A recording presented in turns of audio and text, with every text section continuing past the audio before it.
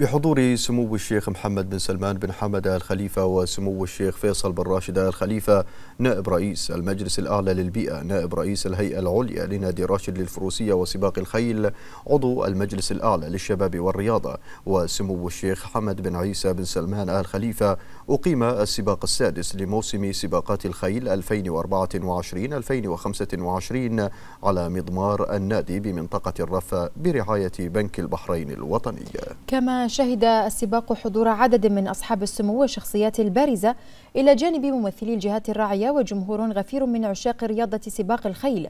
وتم تتويج الفائزين بكؤوس بنك البحرين الوطني حيث تسلم سمو الشيخ سلطان الدين بن محمد بن سلمان الخليفة كأس الشوط الأول من ممثل بنك البحرين الوطني. فيما تسلم سمو الشيخ محمد بن عيسى بن سلمان الخليفة كأس الشوط الثاني من السيد عثمان أحمد الريس الرئيس التنفيذي لمجموعة بنك البحرين الوطني. كما تسلم سمو الشيخ محمد وسمو الشيخ حمد بن هاشم بن محمد الخليفة كأسي الشوطين الرابع والسابع من السيد عثمان أحمد وممثل بنك البحرين الوطني. كما تسلم سمو الشيخ خالد بن علي بن عيسى الخليفة كأس الشوط السادس من ممثل بنك البحرين الوطني.